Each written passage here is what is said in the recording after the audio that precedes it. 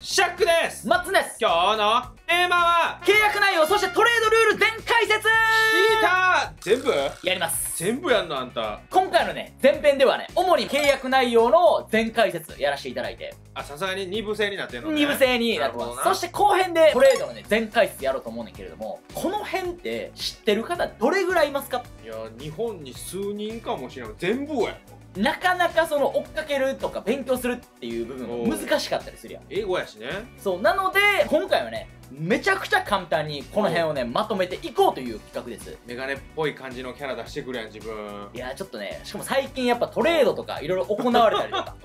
なんか来シーズンいろいろ入っていくけどこの辺知っといてもらうとよりねやっぱ楽しくなってくる。僕らの動画もより分かりやすくなるってこと、ね、分かりやすくなってくる。そして契約もいろいろあんねんけどちょっと今日はね特に難しいそのマックス契約とかうん。スーパーマックスとかあのデリック・ローズルーとかいろいろ言われるやん。あるもうよう分からんよ。そう、その辺をちょっと今日は中心に話していこうかなと思います。そして今回の動画やねんけど、僕だけではなくて、うん。ツイッターで主にね、CBA のことを発信したやつの OQ さんとのコラボ動画にやってます。すごい頭脳がいたわけやね。そうなんですよ。安心した俺は OQ さんとね、約1ヶ月半ぐらい準備させていただい練 ったね二人。て、練りました。で、この OQ さん 軽く紹介させていただくおとお、紹介して。主にツイッターで CBA とかサラリーキャップの基本ルールの紹介。そして NBA で実際に起きたトレードの背景のルールのね深掘りとかを発信されてるような方になってます。絶対マジックファンやね。間違いなくマジコ そしてね、大 Q さんが別で CBA のコミュニティとかもやってらっしゃるんで、ぜひね、フォローだったりとか、そのコミュニティにも入ってください。概要欄にリンクを貼ってると思いますまず、今回の動画ではね、契約の内容について解説していこうと思うんで、うん今日も皆さん最後までお楽しみいただいて、高評ボタン、ポチッとポーチー押していただいて、まだ忘れずチャンネル登録いただけると、僕らの続けるモチベーションにもなるので嬉しいです。嬉しいですそれでは行きましょまず、どんな契約も、う、うん。まずはルーキーから NBA の人生始まっていくんで、スタートはね。スタートは。なので、そのスタートのルーキー契約の内容のパターンをね、ちょっとまずは解説していきたいと思います。そこにももう複数あんのか。ありますで大きくルーキーたちの選手はこの3パターンに分けられる。はい。1巡目選手。で2巡目選手ドラフト外の選手。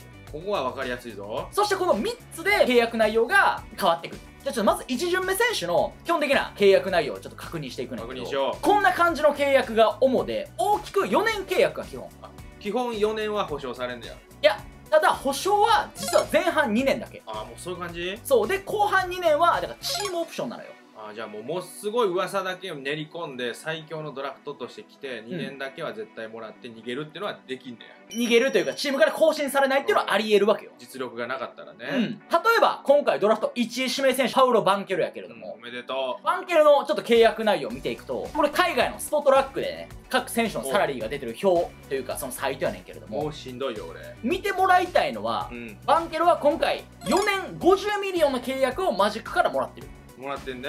やねんけれどもその下の部分に行くと実は20252026シーズンはクラブオプションっていう言葉になってるやん。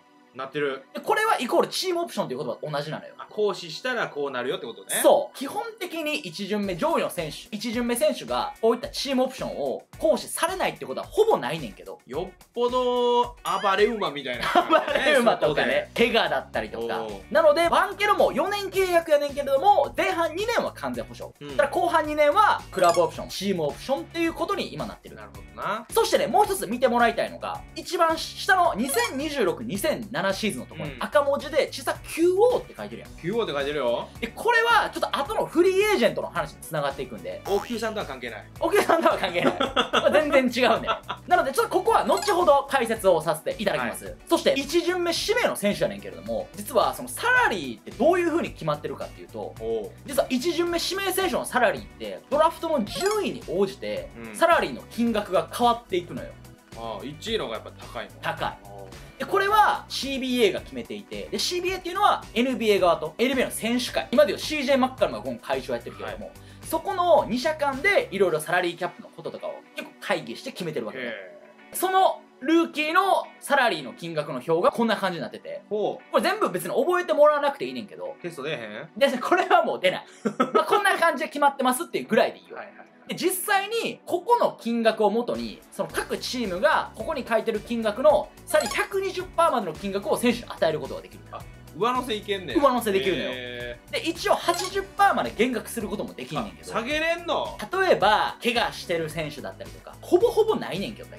なのでバンケロのさっきね見ていただいたサラリーも、うん。実は CBA が決めた基準額の120%をかけられた金額が今回バンケロに与えられてる。ほらマジックはめちゃくちゃ期待してるってことだよね。めちゃくちゃ期待してる。基本的に1巡目1位の選手とかは期待されてるから。それで120%かかってる。そしてここ大事なのはルーキースケールのルーキーの選手たちはその契約する先がサラリーキャップを超えててもルーキーだってこれ問題なし。あそうなん？そう。へえじゃないとせっかく1巡目お持ってるチームだっかそっか。でも選手と契約できないとこになっちゃうんで。安みたいになっちゃうんや。そう。そうなるとやっぱどっちも幸せにならないそうやね。ちなみに八村塁の契約もちょっと見ていくと。あ見たい見たい。これもあの八村塁のサラリー表やねんけれども。やっぱ4年やね。そう4年。20ミリオンでスタートしておてー。で後半見ていただきたいねんけども20212022シーズンがクラブオプションになってる。なってんね、うん。ちょっとこの動画ではチームオプションっていう言葉で統一をしていくねんけど、うん。基本的に1巡目選手はこういった契約になってます。ちなみに1巡目上位の選手と1巡目下位の選手でどれぐらい金額違うかっていうとお見ようよ。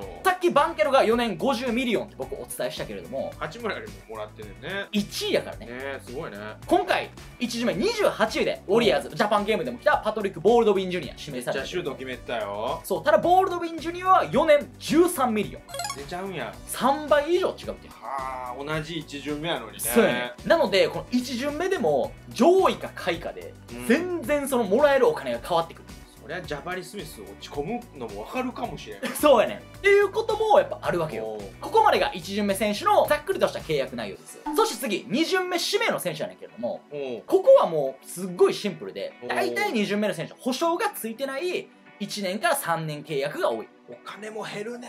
めっちゃ減る。ね。これ見ていただきたいのはほぼほぼミニマムぐらいの金額。ちゃうね。大体年間でも1から2ミリオンぐらい。すごいなそう。でこの2巡目でさ大成功した選手といえばニコラ・ヨキッチ。じゃあ希望皆さんの希望でございます。まあ今回もバカでかい契約をゲットしたけれども実はヨキッチも最初3年4ミリオンからの契約やった。コツコツやってはったよね。えげつないジャンプやで。すごいね。それでもめっちゃもらってるけどねまあ俺らと比それでもねべたら。ヨキッチは2014年ドラフト2巡目41位でナゲッツに入ったんで、うん。最初は本当に年間 1点数ミリオンぐらいの契約からやったナゲッツ儲けもんやねほら。めちゃめちゃ儲けももう一人最近の選手も見ていくとジェイレン・ブランソンも2018年ドラフト38位本当になんか柄が悪いね。怖いね。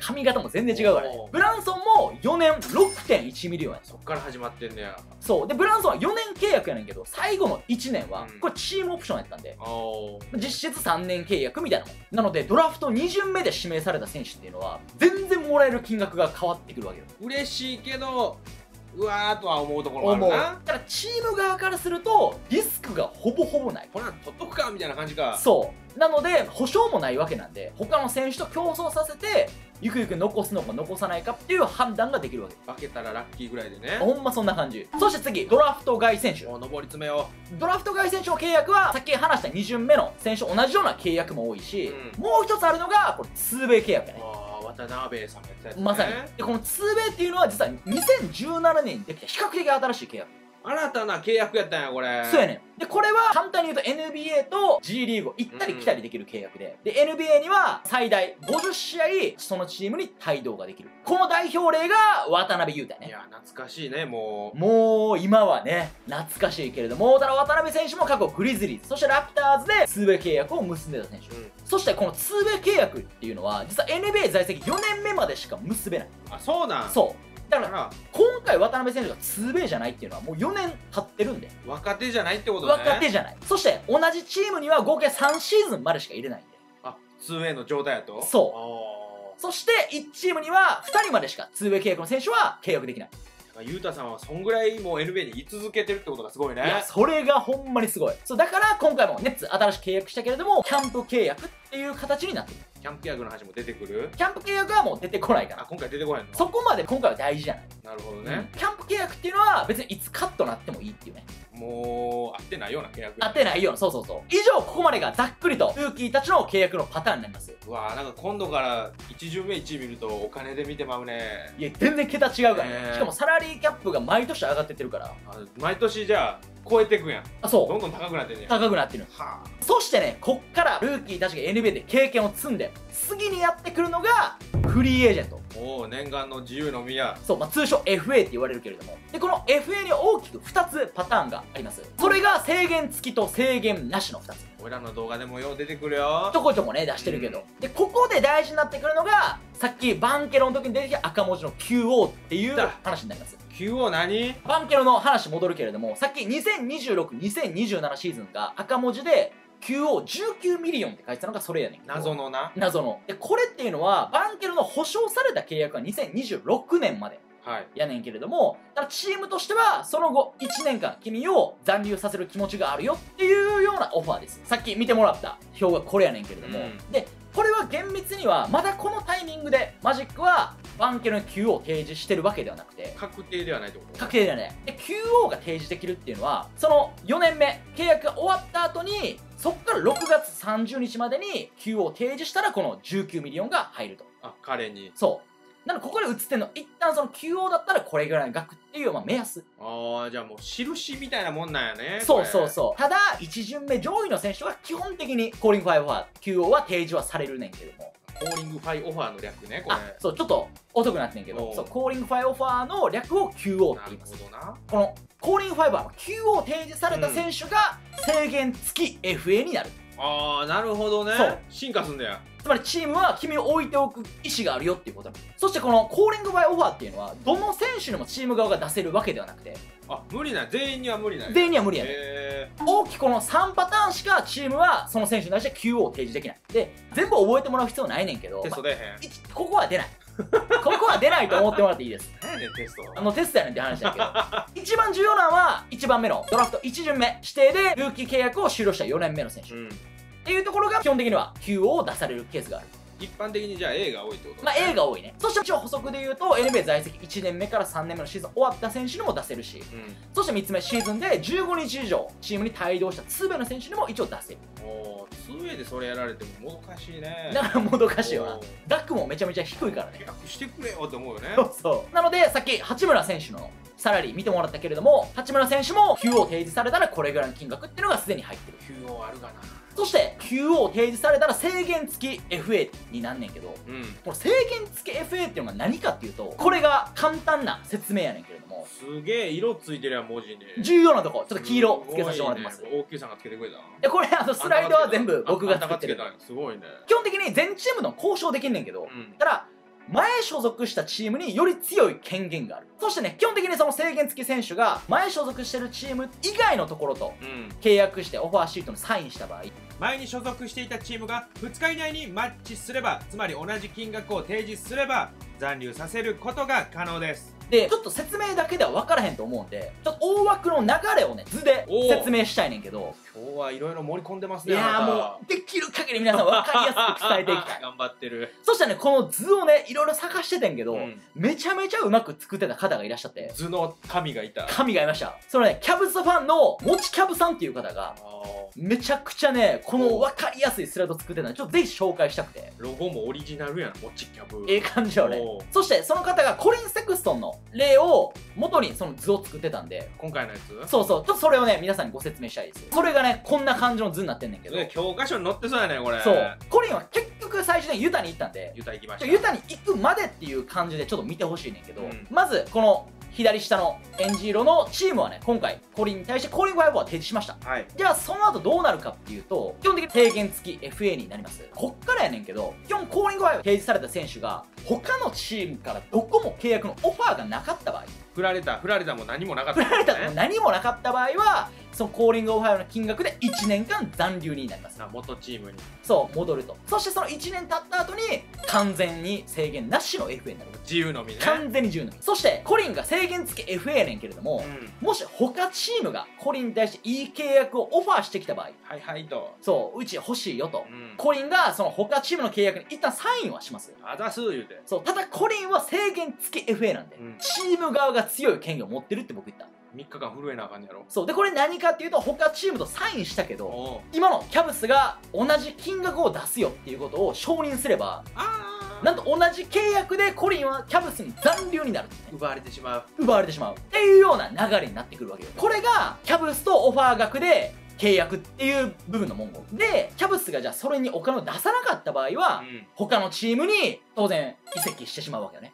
3日間耐え切ったらねはい引いたらねっていうような流れになるんで制限なしはもうこういうの全く関係ないんで。この図もうペインでできる。全く関係ない。ただ制限付きはあくまでチーム側が決定権を持ってるっていうことがここでのポイントですよ。なるべくルーキーの時にいた選手を置いておきたい置いておきたい。なんか意向があんねやろね、まさにまさに。そしてこの契約の縛りがあって今回残留になったのがディアンドレ・エイトンですよ。むちゃくちゃいい顔選ぶやん。ちょっと本人喜んでサインしてたかもしれんよ。俺なんていうねこっからねちょっとマックス契約の話もねちょっと入っていくねんけどあ来た来た来た来た来大事なとこね。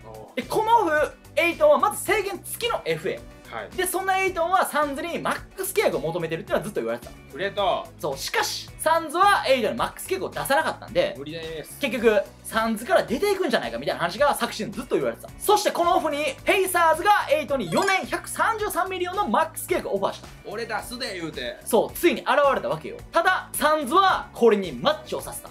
うれうれむでしてるわ言うて。そうつまりペイサーズが出した4年133ミリオンと同じ契約をサンズが出したことでうんエイトンはあと4年間はサンズに残留が決まった。ちょっと先にマックス出してくれやって俺は思うけどなんでなん？そうでここがめちゃめちゃ面白いところで実はサンズはエイトンに対して本当にマックス契約を出す場合は最大5年172ミリオンの契約を与えることができた1年増えんの？増えるし金額も増える。で何が言いたいかというと所属してるチームのサンズと今回のペイサーズの別チームがエイトンに対してマックス契約オファーできる金額っていうのは違うわけよね。サンズの方が多く出せる多く出せる。はもしサンズがエイトンにマックス契約を出す場合エイトンをそのチームの中で特定選手に指定することができるわけあね。礼儀だ。ややこしいやつやでそれ。正しくは designated player って向こうでは言われてんねんけど。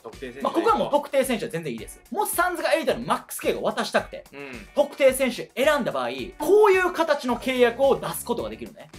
で何かっていうと最大契約年数は5年出せますでそして契約金額はサンズのサラリーキャップの25%までエイトに与えれますよと。あはいはいはい。そして昇給率って言うねんけどおう。8%までいけますっていう。毎年上がっていくの？えっとねこのまず昇給率は何かっていうおと1年目の契約から2年目の契約に対して。うん1年目で8%の金額が多くなる。ああ増やさなあかんねや。そう。でこれ毎年っていうわけではなくて1年目から2年目上がった金額が3年目4年目も足されていくっていう。例えばじゃあ例えば？めちゃくちゃ平たく言うとエイトンがうん。初年度1ミリオンの契約やった場合。もう分かりやすいよ1は。じゃあ2年目には1ミリオンかける8%なんでうん。1.08%になる。増えんねんな。増える。うん。でこの1.08が1ミリオン引いた0.08が3年目4年目にも同じ金額足されていくっていう。ああなるほどな。ちょっと増えるじゃなくて増えた分が年に乗っかってくんだよ。そう。だから増えるのは1年目から2年目しかこの8%っていうのは書かない率っていうせいで分かりにくいそうここがちょっととややこしいただもう別に8%っていうのを覚えてもらってたらそれだけでいい、うん。実際サンズがマックス契約オファーできる場合はこの表の通りでうん。契約年数5年。そしてサラリーキャップの25%は8に渡せる。はい。そしてさっき言った昇給率は8%いけんねんけどペイサーズの他チームが8にマックスを出す場合は最大4年しか与えれへん。これもあれやんな。ずっと生え抜きでいてほしいっていうチームとかあまさにまさに。そうそういうのがあってできたルールそしてサラリーキャップは25%やねんけどもその昇給率こっちは5%になっちゃうんでやっぱ全然ちゃうんやろな。全然違うねいから。そう。なのでサンズはこれを理解してたんで他チームからのマックス契約を待ってたと思われてる。頭脳派や。めちゃめちゃ頭脳テ派ィリリティティ。そう。ティルルティルティ名ってね探偵やんけこれ。だからエイトンがペイサーズのオファーシートにマッチしたもうほぼ数分後にサンズはそれマッチしたって言われてるやん。分かってたんやろうな。分かってたと思うペイサーズからしたら何クソやない。めちゃめちゃ嫌やと思うで。そのためにいろいろ選手もねお前な。削減し削減というか出したりとかそういう目で見るとサンズ対ペイサーズちょっと熱いね。え結構熱いとそしてなんでこの特定選手っていうのができたかというと、うん。まさにさっきシャックが言った通りできる限りその最初にいたチームとやっぱ長くいてもらうとか、じゃないと金持ってるチームがバカ強いになっちゃうもんね。そう。あとはそのマックス契約っていうこういうのができた理由としては選手のこういうの決めておかないとサラリーのどんどんどんどん上がっていくんで。インフレしてまう。そう。それを抑えるためにもできたルールがこの特定選手っていうのが言われてる。今のドラゴンボールみたいにならんようにしてくれてんねんな。ほんまやな。そそしてねここで特定選手もう一個ちょっと突っ込んだ話したいんだけどさっきエイトンが特定選手を選ばれたらこんな感じの金額ですっていうことはお伝えしました出てきたね。で実はこの契約特定選手選ばれる前に半端ない活躍をしたらもうむちゃくちゃむちゃくちゃ活オー躍した。らルスターも行ったみたいな。そう。契約金額が実は上がるっていうルールがある。マジで。でこれ今サラリーキャップ25%ってなってるやんそのとんでもない活躍をしたらサラリーキャップの30%まで上がるっていうこともあるんよ5%取れんの5%取れる。すごいね。でこの正体がデリック・ローズルールって言われる。おお出てきた。ここで出てくんだこの人。そう。ここで登場。なんか歴史に名を刻んでるね。いやほんまにそうやで。実はこの30%まで上がるデリック・ローズっていうのはローズがルーキー契約の3年目にうん。MVP を取ったことでできたルール。彼がそういった活躍をしたんで一定のその条件を満たした選手は25%じゃなくて30%まで上げるよっていうルールができた。もうリスペクトを込めてねこういう選手に。そう。でそのどういったその条件なのかっていうとそれは次のスライドで大きく3つやねんけどまずはオール NBA に直帰のシーズンで選ばれるか。こうやってセカンドサードでもいいの？あセカンドサードでもいい。あそうあるいはその直近以外の3年うんの中で2回選ばれるか。はいはいはい。あるいは2つ目の DPOY うん。つまりあの最優秀ディフェンシブプレイヤーねに、まあ同じく直近のシーズンで選ばれるか過去3年間で2回選ばれるか。過去3年で2回の方がむずそうやな。むずそう。あるいは最後 MVP をここ直近3シーズン以内に受賞するか。これどれか？どれか。あ3つともじゃなくていいのね。もちろんさすがに。レッツやばすぎるかちょっらと40%ぐらい上げてくれよみたいなね。そうさすがにデリック・ローズが DPOY 取れない。の なのでこの3つのうちどれか達成すればさっきのデリック・ローズルが適用されてなるほど。25%から30%まで上がっていってなので例えば今回のジャモラントが5年194ミリオンマックス契約うん。特定選手選ばれたわけやねんけれどあも特定なれた。なれました。さすがやね。たださっきの3つのうちどれか1つを達成すればうん。最大でも5年231ミリオンまで契約が跳ね上がる。あさらに上をいけたってこと？まだねモラントの契約は来シーズンから始まるんで。そうつまり今シーズンでモラントが MVP ななのか。入れば？そうオール NBA チームなのか変われんねや。変われる、なるほまあ、ど、ね DPO は難しいと思うんだけどおうまあ難しいね。そう。ただそうなるとデリック・ローズルールが適用されて5年231ミリオンまでなるっていうね。30%ね。30%でこれがマックス契約のルールやね。そしてこの特定選手に選べるのは1チーム基本的に最大2人まで。選ばれし者やね。選ばれし者。選ばれし者のさらに選ばれし者やいやなほんますそう。ごいね。そしてトレードで獲得できるのは1人まで。まあその同じチームにね。そうなので例えば今回オフでですね KD がウォリアーズの噂があってあったあった。そうそのためにウィギンスがアセットになるんじゃないかみたいな話もあってんけどただネッツにはすでにベン・シモンズがいるんでベン・シモンズの特定選手。なのでウィギンスを取るっていうことは難しかったわけよ。特定が2人になってまうね。あそうそれは NG なんですね。ここまでがルーキー契約終わった後その選ばれし者特定選手っていうものの正体でした片方が生え抜きやったら入れれんねんね。入れれる。移籍の特定選手。そう。生え抜き生え抜きもいいのよね。特定選手2人までやから。いい生え抜きはあれやな。そのチームでドラフトされた選手そうそうそう。移籍移籍が上がるな。そう。移籍生え抜きは OK やねんな OK そういうことね。ここまでがルーキー契約の次の特定選手ってマックス契約の話。まだついていけてる気がする。いけてる？そして気になるのはもう一つじゃベテランどうやねんっていうね。ああ来ちゃう。よやっぱいろいろ猛者がいますやん、もう眠れる人いるよまだ、まあ、眠ってたら選ばれへんねんけど。起きやかずんの。素人 NBA 実はベテランもあってベテランの場合はサラリーキャップの30%まで許容されてます。じゃあもうあれやんあれやんさっきのやつやんもそうやな。